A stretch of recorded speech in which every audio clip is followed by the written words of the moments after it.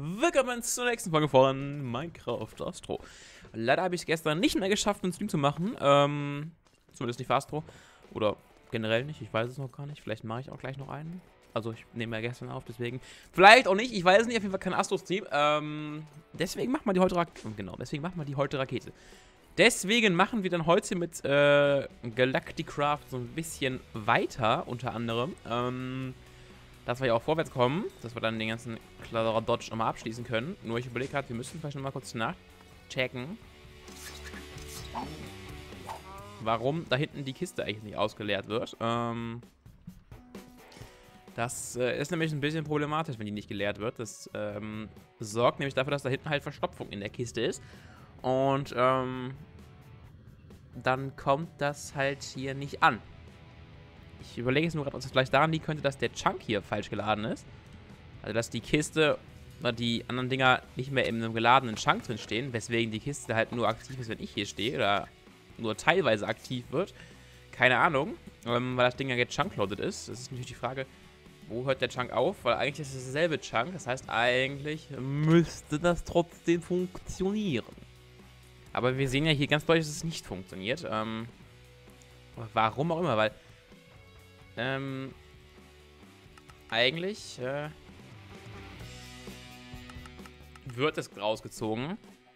Nur ab und zu, glaube ich, zu langsam tatsächlich. Das ist das Problem hier. Ähm, man könnte vielleicht versuchen, mit einem zweiten Servo das Problem so ein bisschen äh, zu lösen. Ob das dann aber funktioniert, ist eine andere Sache. Weil ich meine, keine Ahnung, weil ich nicht weiß, äh, woran festgemacht wird, wie welcher Geschwindigkeit das Ding da rauszieht. Ähm, Müsste man testen, ob das halt wirklich doch irgendwas bringt. Dann ähm, wäre das nicht schlecht. Man muss es halt auch nur einstellen im Server. Im Server, im äh, Tesseract. Ähm, äh, in dem Ding halt, ne? Im Dimensional Transceiver. Und das können wir alles hier reintun, weil der Rest wird ja rausgezogen. Resonating Redstone Crystal, das kann man auch mal auf die Liste hier setzen. Das wird ja auch noch hier rausgezogen. Das kommt ja auch ab und zu mit, fällt mir jetzt ein. Aber die sind alle am Arbeiten. Ähm, daher dürfte das Problem deswegen nicht rühren. Müssen wir mal ein bisschen im Auge behalten. Mm, guck mal kurz. Ich glaube, wir haben halt noch irgendwo... Ähm, wir haben halt irgendwo noch äh, einen sehr... Wo? Okay, haben wir nicht. Ähm, dann machen wir einfach mal eben einen Servo. Ähm, muss ja auch kein krasser sein. Ich glaube, der hier reicht schon. Von kein krasser, ne? Das ist das, das drittbeste Servo. Jupp. Und Item Duct haben wir auch noch genau eine Impuls Duct. Ähm Gut, dann müssen wir da die ganz normalen Item Ducts benutzen. Ist mir jetzt auch recht. Ähm Hauptsache, dass wir da wirklich mal wissen, was äh, hat es da so auf sich, warum das nicht so gut funktioniert, wie ich mir das gar nicht vorstellen würde. Boah, Alter, die Steuerung manchmal, weißt du, drückst du zwei, drei Knöpfe zur selben Zeit, zack, Jetpack aus, tot. Gefühlt so äh, fühlt es sich an. Gefühlt so fühlt es sich an, ja genau. Ähm, so. Ähm, das heißt, wir könnten jetzt mal hingucken. Das war jetzt hier. Ähm, ja, so eine Servokonstruktion hier dran basteln. Dass das äh, hier auch noch rauskommt. Hm. Jetzt müssen wir nur noch konfigurieren, dass auch hier ein dass auch hier ein Input ist. Ähm, ne, nicht Receive, sondern Send. Ähm, und hier oben ist ja Pull. Hier ist auch Pull. Send, okay. Ähm, ja, vielleicht klappt das jetzt damit. Ähm,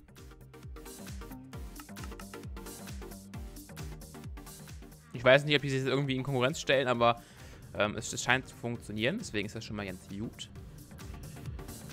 Ähm, deswegen können wir mit der Rakete anfangen. Yippie. Oder zumindest mit den nächsten Geräten. Ob wir die Rakete selber wirklich schon bauen können, ist eine andere Frage. Ähm, müssen wir jetzt gucken. Sauerstofftanks haben wir schon. Circuits haben wir. Hier ist nochmal gepresstes irgendwas. Wir können oben auch nochmal eine Ladung, eine Ladung äh, Stahl herstellen. Vielleicht haben wir noch Stahl hier drin, weil da haben wir viel von. Stahl haben wir noch zwei Barren. Äh, da ist aber nichts mehr drin. Ähm, Sprich, wir müssen jetzt noch ein paar Stacks Kohle hier durchpulverisieren und dann da oben in Stahl verwandeln. Und dann können wir den Stahl runternehmen und dann weitermachen. Auf dass wir dann endlich mit den Geräten fertig werden. Und hier dürfte sich Essen befinden. Ja. So, hier schmeißen wir es mal kurz ins Richtung, genau, ins, ins Richtung Bett rein. Wir schmeißen uns in Richtung Bett rein, genau. Das wollte ich sagen. Ähm, und dann sehen wir, dass das klappt. Was ist das ganze Zeug hier?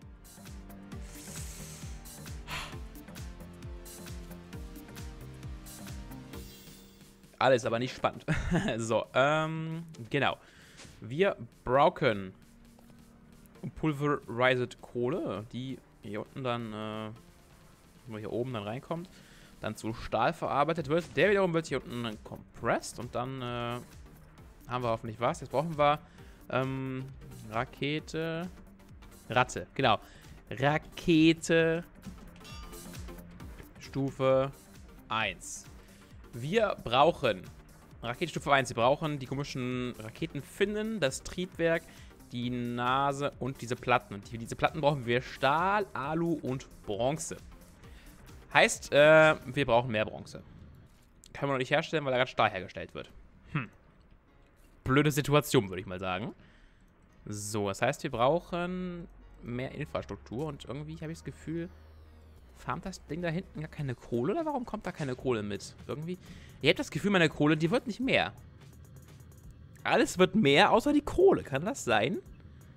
Habe ich das irgendwie vergessen, in den Filter einzutragen? Oder warum, warum kommt da nichts mit? Also das ist, ärgert mich jetzt so ein bisschen. Dass jetzt keine Kohle mitkommt. Äh, Stop, Reset, Konfiguration. Äh...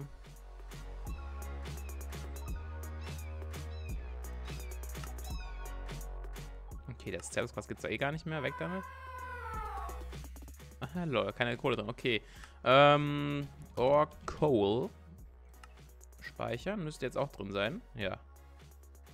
Oder hat man jetzt vorher schon Kohle gehabt irgendwo? Ich habe es nicht gesehen. Redstone, Eisen, Diamant, das sieht das wie Gold.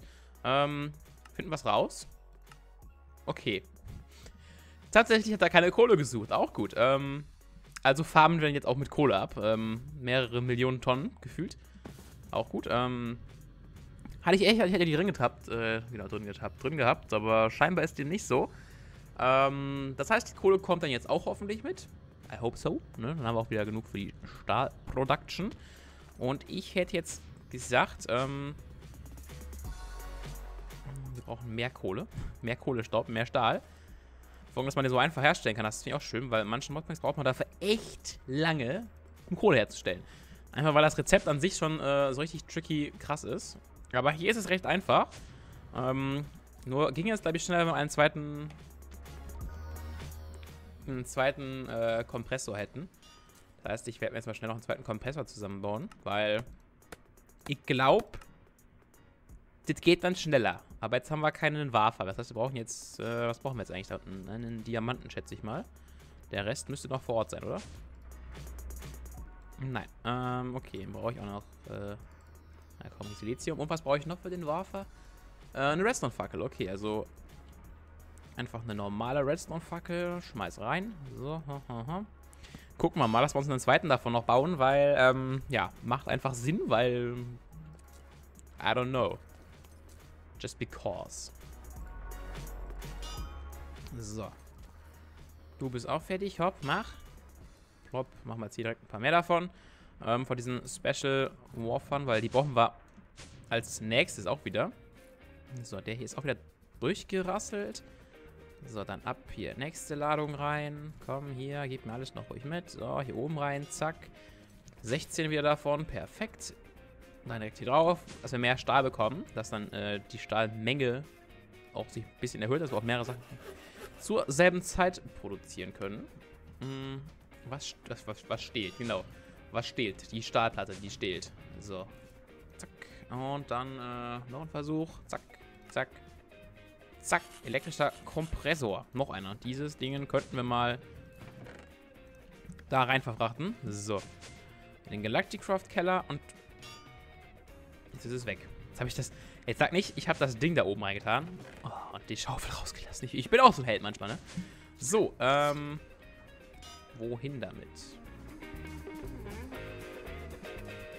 Ich hätte gesagt, der einfache, einfach, genau, der Einfachheit halber, der, der Einfachheit halber, ähm, stellen wir das jetzt direkt gegenüber, äh, gegenüber hier drüber. Das heißt, wir werden dann den Klatsch mal kurz, ähm, umkabeln müssen. Einfach an eine etwas sinnvollere Anordnung der Gerätschaften. Und zwar hier übereinander. Ähm, und dann bitte auch in der nutzerfreundlichen Höhe. Also erst die Kiste, dann die Kiste. Dann brauche ich noch ein äh, Energy Duct. En nee, nicht Energie, sondern Energy. Ähm, so. Eine Energy Duct. So, zack, Strom ist da. Und dann noch hier ein so ein Glasding. Dann äh, dürfte die Kiste auch wieder an sein.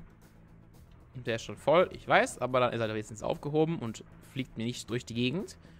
So. Dann kann man jetzt hier den zweiten Kompressor machen. Haben wir hier jetzt zwar nicht auf derselben Höhe, aber immerhin selbe Reichweite. Auch wenn die Geräte da besser wären. Aber egal. Ähm so, was macht eigentlich die Kiste hier? Die ist fertig. 7000 Treibstoff, immerhin. Da können wir jetzt mal uns mit Bronze beschäftigen, unter anderem. Hm, wie viel habe ich davon eigentlich? Habe ich davon viel mehr gemacht? Bronze. Sieben, okay. Das ist natürlich nicht viel. Ähm, und ich sehe schon, wir haben auch nichts anderes mehr. Sprich, wir müssen erstmal noch eine Runde Bronze herstellen. Ähm, das heißt, die setzen mal kurz mit dem Stahl aus. Schmeißen stattdessen das hier rein, dass wir Bronze bekommen. Können aber währenddessen weiter Kohle pulverisieren. Einfach, damit wir mehr haben. Hier ist auch noch was Fertiges drin. Auch gut. So. Also ich sehe schon, ähm, ich denke, heute werden wir auch nicht mehr zum äh, Mond fliegen. Das heißt dann vielleicht doch in den nächsten Folgen oder vielleicht in einem Livestream. Je nachdem, wann, wie und wo. Ähm, mal schauen. So. Ich glaube, Alu hatten wir schon. Alu hatten wir schon in Platten. Was? Warum haben wir kein Aluminium compressed? Okay. Ähm, Rakete, Stufe. Uno. Ich suche Stufe 1 und komme Stufe 3. Ich habe schon Suchfunktionen gesehen, die haben besser funktioniert. Aber egal. Ähm, gut, hier brauchen wir überall diese komischen robusten Platten. Das heißt, wir brauchen wirklich viel davon. Ähm, auch hier. Gar nicht mehr gehabt. Das heißt, wir können nebenbei auch schon mal Aluminium kompressen, weil brauchen wir dann auch ganz viel von. So, Stahl läuft noch. Hier ist jetzt eine dicke Ladung Bronze fertig schon mal. Können wir hier reintun, auf das dann die auch kompressed wird. Den Rest lassen wir einfach durchlaufen, weil, keine Ahnung, weil gerade einfach Luft hier oben ist. Oder ich kann auch schon mal neue Kohle wiederholen. So, der ist auch schon durchgelaufen. Perfekt, dann mache ich weiter. Wir lassen mal alles hier so im, im Schnellverfahren durchlaufen. Dass wir jetzt so eine möglichst große Menge bekommen von allem, was wir hier so brauchen. Um dann halt die Rakete bauen zu können. Ich weiß jetzt nicht auswendig, ob wir auf dem Mond dann auch farmen können, wollen, sollen, tun, wie auch immer. Würde ich da erstmal gucken. Ähm, wie wir das handeln wollen. Weil, ich meine, muss man ja nicht. Kann man aber. Und deswegen. diese Kuh hat noch 1,14 Leben. Schön. Und ich finde es interessant, dass die Babykühe genauso viel Leben haben wie die erwachsenen Kühe. Aber gut, ähm, kann man machen, Kühe, ne? So. Mhm. So, was sagt die Compressing Area? So, das ist da.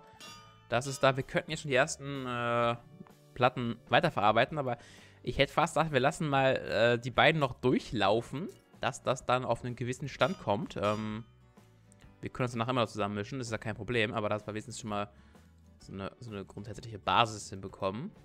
Ich finde diese Geräte immer schrecklich langsam.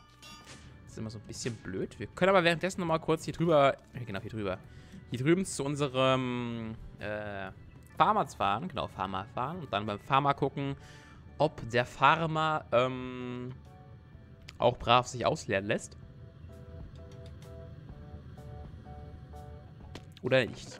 Okay, hier ist alles in Ordnung. Das heißt, das äh, ist so eine typische Apparatur, wie wir sie irgendwo hinstellen können. Also, die kann man ja immer irgendwo hinstellen. Die wird ja immer funktionieren. Und dann uns das äh, System schön voll machen. Das ist ja gar keine Problematik bei. Das äh, finde ich sehr schön freut mich, dass das gut funktioniert. Jetzt gucken wir mal hier nochmal rein. Ähm, ja, wir haben jetzt einen kleinen Vorrat schon mal angeschöpft. Ähm, 25, das heißt einfach nur 12 dann pro Teil, ne? weil wir pro Teil 2 brauchen. Das heißt, das dann äh, durch 2 geteilt, das heißt, das sind 12 Platten. Das reicht gerade mal für 3, 4, 5, 6, 7, 8, 9, 10, 11. Das reicht gerade mal für den Raketenrumpf und nicht mal für die Platten. Also wir brauchen noch mehr davon. Definitiv. Ähm, müssen wir mal schauen Allen voran auf jeden Fall mehr Stahl. Aber da arbeiten wir ja schon dran auf Hochtouren. Und, ähm, ja, ich würde sagen, wir machen einfach mit der Produktion der einzelnen Sachen jetzt weiter. Wobei wir jetzt hier unten vielleicht dann auch mal jetzt schon, ähm, ja, hier in die, äh, Endfertigung gehen können. Ähm, so, so. Ein bisschen vertauscht, war das so? Ja. Okay, dann machen wir jetzt hier schon mal diese komischen äh, Heavy Duty Plates heißen die, glaube ich, ne? Oder robuste Platte. Ähm, dann äh, sehen wir ja schon mal so ein bisschen, was dabei rumkommt. Ähm, ja, Produktion läuft schon mal. Und, ähm, ja, komm, weil es so schön ist, wir bauen uns mal eben die Raketennase, komm. So. Dann haben wir immerhin schon ein Teil der Rakete fertig. Yippie yay. Und, ähm, ja. Happy, we have a Raketennose. Schön. Ne? Guck mal, das können wir die so hinlegen. So, hui. Raketennase. Yippie. Und ja, mehr machen wir dann bei der nächsten Folge oder im nächsten Livestream. Äh, müssen wir mal schauen, ob wir dann heute Abend doch noch Gomme machen oder doch das hier. Je nachdem, was äh, ja, ich mehr Lust drauf habe.